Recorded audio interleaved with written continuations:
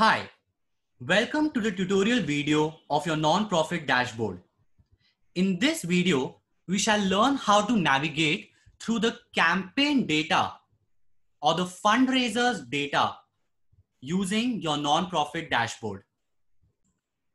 To do so, you need to log in to your non-profit dashboard. You can select the crowdfunding tab from the top bar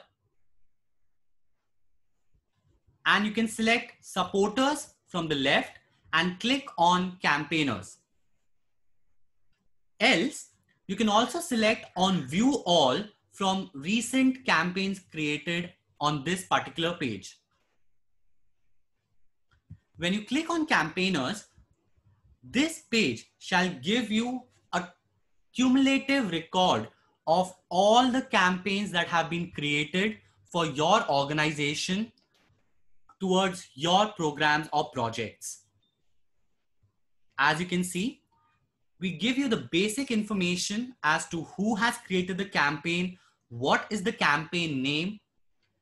We also inform you that how many days are remaining to the campaign, what is the target amount of the campaign, and if there's any amount that has been raised on this campaign. You can also see that while for most campaigns on this screen, there's nothing under the project column. There's one campaign which is also associated with one of the program or the project. This means that some campaigns, while they can be directly created on your profile in support of your organization, some fundraisers may actually choose to read about your projects. They may actually choose to start their fundraising campaign under under a project that they strongly connect with and they strongly wish to support.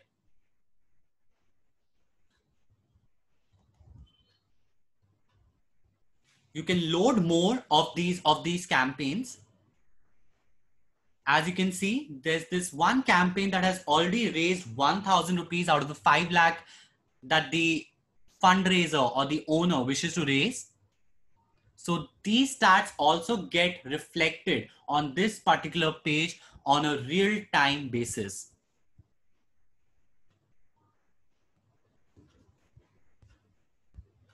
We shall be working on providing more features and more inputs to our NGOs through this particular page. So we request you to stay tuned for that.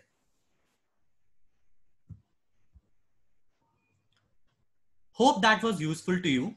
You can check out other videos to learn more about your nonprofit dashboard.